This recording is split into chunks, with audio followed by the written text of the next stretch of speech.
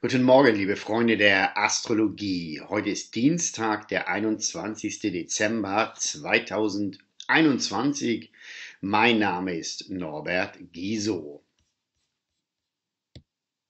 Ja, gestern habe ich ähm, Video aufgenommen, was auf 1961 Boom zu sehen ist und was ich hier auch in den Shownotes, also unterhalb des Videos, verlinken werde. Und zwar habe ich da mal die Themen des Jahres mir genommen und einen kleinen ersten Ausblick auf das Jahr 2022 gewagt aus astrologischer Sicht. Wer sich dafür interessiert, wie gesagt, den Link packe ich hier runter. Ja, heute ist es nun soweit. Die Sonne, heute haben wir Sonne Zeichen Wechseltag, denn die Sonne wird aus dem Schützen in den Steinbock wechseln und zwar heute Nachmittag um 16.59 Uhr, also quasi um 17 Uhr. Jetzt die letzten Stunden mit der Sonne im Schützen, dann wechselt die Sonne in den Steinbock, damit beginnt offiziell die Jahreszeit Winter, kalendarisch gesehen. Ähm, und außerdem wird dann die heutige Nacht, die ja dann schon im Steinbock stattfindet, wird dann ähm, nicht, schon nicht mehr die längste Nacht sein, denn diese war es zum heute.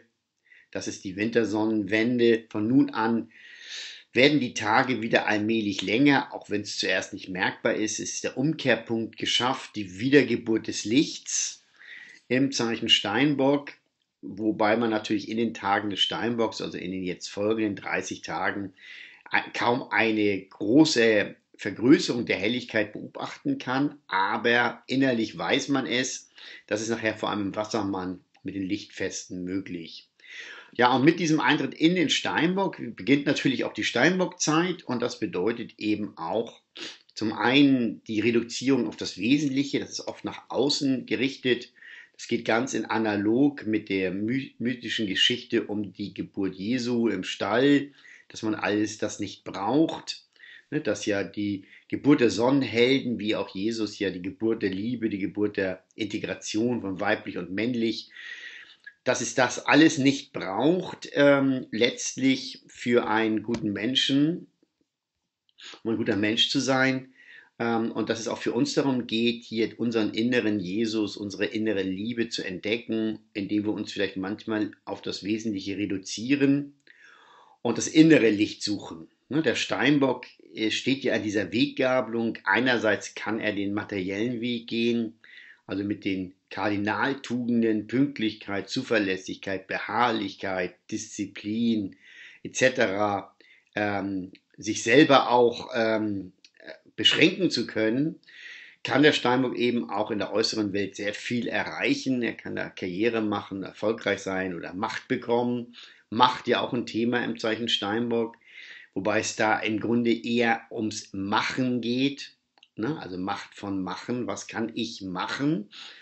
Ähm, oder er kann den Weg, den inneren Weg gehen, den esoterischen Weg, den Weg nach innen, den Weg der Suche des inneren Lichts, die Suche nach der Selbstüberwindung, nach der Selbstlosigkeit, die sich ja dann in den Zeichen Wassermann und Fische vor allem fortsetzt, weil Steinbock, Wassermann, Fische sind ja im Tierkreis die überpersönlichen Zeichen, wo sich Persönliches mit Überpersönlichem mischt. In diesem Jahr ist der Steinbock-Eintritt ja verbunden, wie ich es dann auch im Jahreshoroskop ausführlicher dargelegt habe, mit mehreren anderen Konstellationen natürlich. Ganz zuerst zu nennen hier das Quadrat von Saturn und Uranus. Beide werden am 24., also am Freitag, wird deren Quadrat ein drittes Mal in diesem Jahr exakt werden.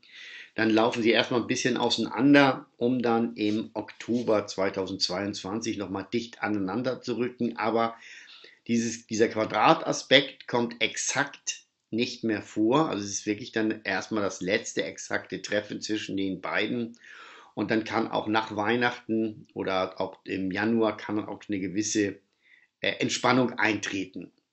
Jupiter, der größte Planet unseres Sonnensystems, hier jetzt im vorletzten Grad des Wassermanns wird am 29. Dezember in die Fische wechseln, den Wassermann verlassen, in, in den Fischen eben einer für vielleicht eine vertiefte Spiritualität, aber auch für eine noch tiefere Verblendung sorgen können. Auch dazu mehr im Jahreshoroskop. Und natürlich Venus Pluto. Venus ja rückläufig seit dem Wochenende läuft hier rückläufig wieder auf den Pluto zu, den sie ja gar nicht weit verlassen hat, den sie am 25. Dezember nochmal erreichen wird. Also zu Weihnachten nochmal hier wichtige Aspekte werden hier nochmal exakt. Dann wird Venus vom 25. an sozusagen dem Pluto rückwärts entlaufen. Aber wir müssen halt bis dahin auch damit rechnen, dass Schattenthemen in Begegnungen und in Werten auftreten, dass, es, dass äh, Geldanlagen im Moment unsicher sind, dass man nicht genau weiß, wie es auf dem Aktien, auf dem Kapitalmarkt, auf dem Immobilienmarkt weitergeht mit den Inflationen, Zinsen etc. Hier ist eine große Unsicherheit drin, auch eine große wirtschaftliche Unsicherheit, was jetzt irgendwie die neue Corona-Variante wirtschaftlich wieder für Folgen hat, ob es wieder Lockdowns gibt und so weiter. Hier steckt also auch eine Menge Angst und Befürchtungen drin und Angst und Befürchtungen, die sind ja psychologisch gesehen, fördern die ja dann auch die dementsprechenden Handlungen. Also je mehr Angst ich empfinde, desto ängstlicher verhalte ich mich auch, etc. etc. Hier gilt es für uns genau zu schauen, irgendwie, was sind eigentlich unsere wahren Werte? Sind unsere Werte wirklich nur so am Außen angelehnt, an Geld, Materie oder eben an inneren Werten? Also hier durchaus die Konstellation, die uns auch da mal von weglocken will, um mehr wieder die inneren Werte, innere Freude, Ruhe, Stille, Mitgefühl zu erfahren. Der Mond als Tagesanzeiger der Energien ähm, wird heute den Dienstag über auch den Wechsel im Steinbock um 17 Uhr passiert noch mit dem Mond im Krebs, was ja eine sehr starke emotionale Note in den Tag hineinträgt. Mit dem Mond im Krebs geht es ja oft darum, oder geht es ja grundsätzlich darum, sich in sich, mit sich, in seinem Zuhause, mit seiner Umgebung wohlzufühlen und auch dafür zu sorgen, dass andere es tun. Also der Mensch mit Mond im Krebs oder Mond im Krebs sorgt sich sehr um andere, wenn er dann selber eine gewisse emotionale Stabilität gefunden hat, manchmal sogar bevor er das gefunden hat.